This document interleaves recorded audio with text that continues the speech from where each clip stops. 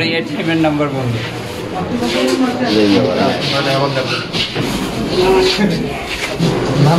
যেটা ভালো হয় দাদা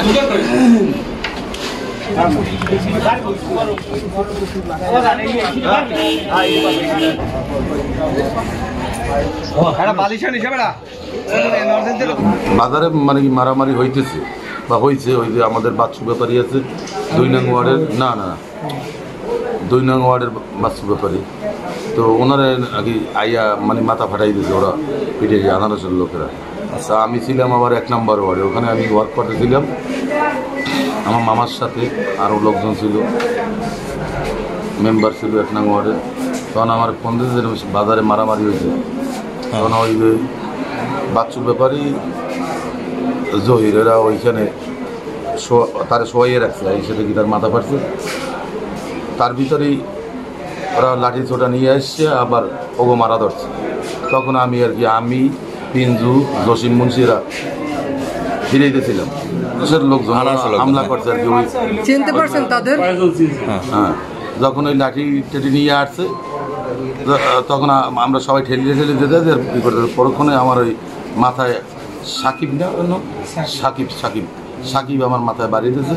তখন আর আমি তারপরে আর আমি কিছু দিই না আমি তো মানে নিয়ে গেছে। আর এখানে একটা মনে হয় এখানে অনেক ব্যথা করে পিছনে? না না পিছনে একটা বাড়ি পড়ছে। আপনাদের আহত হয়েছে কে কে? ওই যে প্রথম বাচ্চু ব্যাপারে মারলো তারপরে জহির জসিম মুন্সি পিঞ্জু আর আমি। শাহিন। শাহিন হুম। সবার বাড়ি বাড়ি জানি সবাই কি কি মানে ঘটনা ঘটছে কি কি ঘটনা ঘটছে তখন আমি ছিলাম না পরে আর তুমি ঘটনা কি কারণ নিয়ে ঘটনা ঘটছে? সেটাও আমি জানি না কি কারণ নিয়ে ওরা কিছু বলছে। জি?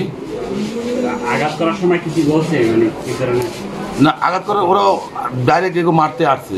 আগে তো মারছে বাচ্চু ব্যাপারে। মাথা ফাটছে। হাতে পাইপ ছিল প্রত্যেকের। প্রত্যেকের হাতে পাইপ ছিল। তো আমার যখন পিটান দিয়েছে ওই যে এটা ওই সাকিব তারপরে আমি আর কিছু দেখি নাই। পরে আবার ওই জহিরের মাথা টাথা ফাটাই ওইগুলো আমি দেখিনি। ওয়ার্কে আনলাম। আপনি কিসের ওয়ার্ক করেন আপনি? আমরা ওয়ার্ক করি হইলে দত কলমে হ্যাঁ। এর ভিতরে আমরা সেই দাঁড়াইছি এর ভিতরে দেহি এই আনারসের অফিস দিয়া লাড়ি রান্দা ওই বাস্তু ব্যবহারী ছোট পোলাক গায় হেই লইয়া হুন্দায় ওফার যায়। আমি কই ব্যাপার ডাকি? তখন আমি যে ব্রিজের ওই মেতায় খারাইছি এর ভিতরে হুনি কয় যে বাস্তু ব্যাপারীরে পিড়াইয়া হইয়া লাগিয়েছে হ্যাঁ। এই আবার সামনে গেছি। সামনে গেছি পর হের তো মাথা ফাটাইছে। এবার হারুন ভাই হেরও পিড়িয়ে মাথা ফাটাইছে। মোটামুটি ওরা রান্দা সাফারি তারপরে কাহান হাতে জালে নিয়ে মাইক পিট সমানে শুরু করিয়ে দিয়েছে কে কে এরা? কে কারা কারা? একটা ওর তো পোলাপান তো মুখ আছে হইলে বিড়ি বেচা পোলা কবিরি আছে। এই কবিরিয়ার পোলা একটা। আর একটা হইলে ওর নাম কি? জসিম। লম্বা মতন জসিম। আর একটা হইলে এই ফয়সাল জুতা ফয়সাল কাগরে। এইরকম মানি জুতা ফয়সাল ও- মারে ট্রাক বাস তুলে এইনে বইলে এইনে বইলে মারছে হে মাইক খেয়ে সোজা গাড়ি লই চলে গেছে। আচ্ছা, আপনাদের আহত হয়েছে কে কে? আহত হয়েছে বাস্তু ব্যাপারী আর হইলে আর ভাই জহির। তার ভাই জহির তারপর হইলে হারুন ভাই আর বহুত তারপর আরও বহুত লোক। হ্যাঁ? এরা কার কর্মী?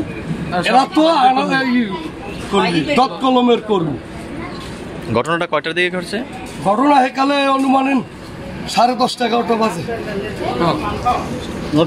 দত কলমের ওয়ার্কে নামছে? সুস্খালি রহিনে আর আনারসের ওয়ার্ক নামছে। হেরা হেরা নাকি ওহিনে বইয়ে বাঁচাইছে এরা আইয়া এহিনে লোক লইয়ে পিডান শুরু করে যারে পায় হেরে পিডা কারা আনারস আনারসের লোক? যারে পায় হেরে পিডা রানীশেফা ইউনিয়নে গতদিন প্রচারণা আমরা শুরু করেছি।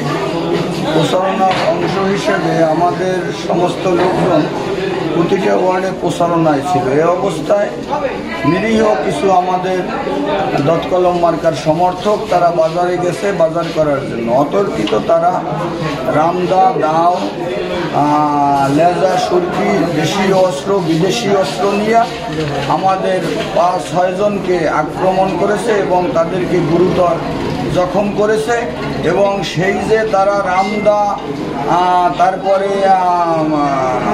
পাই, স্টিল পাই, তারপরে এই এই যে দেশীয় অস্ত্র নিয়ে তারা যে হামলা করেছে, তার ভিডিও ক্লিপও আমাদের কাছে আছে। সেটাও আমরা প্রয়োজন বোধে দিতে পারব। এভাবে হামলা করিয়ে তারা চায় যে দৎকলম মার্কার কোনো কর্মী যেন মাঠে না থাকে, তারা নির্বাচন যেন তারা না করতে পারে, বিগত যেভাবে জাতীয় সংসদ নির্বাচনে ইগল মার্কার সমর্থকদের এলাকা ত্যাগ করিয়ে তারা বিজয়ী হয়েছে, তদ্রূপ আগামী উপজেলা নির্বাচনেও তারা দৎকলম মার্কার কর্মী সমর্থকদের এলাকা ছাড়া করে তারা বিজয়ী হতে চায়। এটা আমরা প্রশাসনের কাছে বিনয়ের সাথে আমি অনুরোধ করি যাতে আগামী নয় তারিখে একটি সুষ্ঠু, সুন্দর নির্বাচন আমরা মাননীয় প্রধানমন্ত্রী শেখ হাসিনাকে উপহার দিতে পারি। এজন্য প্রয়োজনীয় আইন শৃঙ্খলা বাহিনীকে মঠবাড়িয়ে নিয়োগ করা হয় এ দাবি জানাচ্ছি আমার ইউনিয়নবাসীর পক্ষ থেকে। চেয়ারম্যান হিসেবে আমার এই নির্বাচনী প্রচারণা শুরু করার পর থেকে আমার প্রচারের মাইক এবং প্রচারের ইজি বাইকে পর্যন্ত তারা আগুন ধরিয়ে দিয়েছে। প্রচার যে করে এবং ড্রাইভারকে তারা আহত করেছে মেরেছে এবং সেখানে আমরা মামলা করেছি, সেই মামলায় সকল আসামি যারা কোর্টে হাজির হয়েছে, ছাব্বিশের আসামিও কোর্ট তাদেরকে জামিন দিয়ে দিয়েছে। অর্থাৎ আইন শৃঙ্খলা বাহিনী যদি কোনো পদক্ষেপ নেয় এবং সেখানে তাদেরকে কোর্টে পাঠায়, কোর্ট তাদেরকে একদিনের মধ্যে জামিন দিয়ে দেয়। এভাবে তো আইন শৃঙ্খলা নিয়ন্ত্রণ করা সম্ভব না। আমি বিনয়ের সাথে অনুরোধ করব আইন শৃঙ্খলা বাহিনী আরও তৎপরতা হয়ে এবং জেলা পুলিশ সুপার মহোদয়ের কাছে আমি অনুরোধ করব, তিনি আরও এখানে র্যাব, পুলিশ এবং বিসিবি যদি দরকার হয়, তাও দিয়ে যাতে মঠবাড়ি একটি সুষ্ঠু, সুন্দর নির্বাচন হয়, এজন্য আমি বিনীতভাবে অনুরোধ হয়েছে মঠবাড়ি হসপিটাল? থেকে তাদেরকে বরিশাল রেফার করা হয়েছে। রেফার করা হয়েছে দুইজন এখানে চিকিৎসা করা হয়েছে তিনজন আরও আগে ওখান থেকে বরিশাল পাঠানো হয়েছে দুইজন। তারা গুরুতর জখম অর্থাৎ প্রত্যেকের মাথায় কোপ এবং পা ভাঙ্গা, হাত ভাঙ্গা, হাতে কোপ, পিঠে কোপ, অর্থাৎ অতর্কিতভাবে তাদের গুরুতরতা এটা ভাষায় প্রকাশ করা যায় না, যেভাবে তাদেরকে, অমানবিকভাবে তাদেরকে কুপিয়েছে।